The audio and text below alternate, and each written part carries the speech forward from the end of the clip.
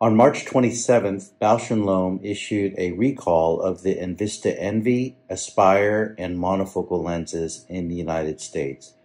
We've been told by Bausch & Lomb that we should not use the enVista lenses until further notice.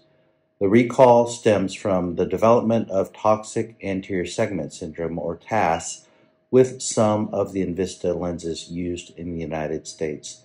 The following are some cases of TASS that we experienced in our own patients in our practice. These are three of the six TASS cases that I saw in my first 124 Envy multifocal lens procedures. All patients presented within two days after implantation of the Envy lens with painless blurred vision. Two of the six TASS cases were referred to retina for injection of antibiotics. One of the six TASS patients underwent vitrectomy. Fortunately, all six patients recovered normal vision without any visually significant side effects with intensive topical steroid eye drop treatment.